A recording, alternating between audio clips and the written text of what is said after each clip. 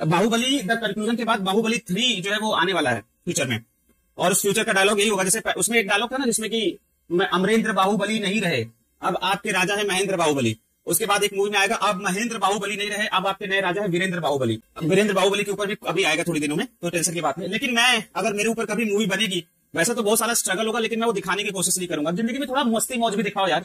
क्यों हमेशा रोने धोने वाली बात होती है? स्ट्रगल के पीछे क्यों पड़े रहते हो? ऐसा नहीं मस्ती नहीं काटे होगे, दोस्तों के साथ तफरी नहीं काटे होगे? काटे हैं? है ना? बैठ के थोड़ा तफरी काटे हो, मज़े लिए हो। अरे देख क्या लग रही यार आज तो। ये भी तो डायलॉग डाला करो। लोग डालते नहीं मूवी में, कभी ऐसे हरकतें नहीं किया होगा कोई भी जिसके ऊपर बायोपिक बनती है। उसको इतना अच्छा दिखा दिया जाता है कि जैसे राम का साक्षात वही दर्शन करके आया हुआ है बायोपिक वाले में तो। अरे उसने ऐसी हरकतें भी की होंगी, थोड़ा दिखाओ।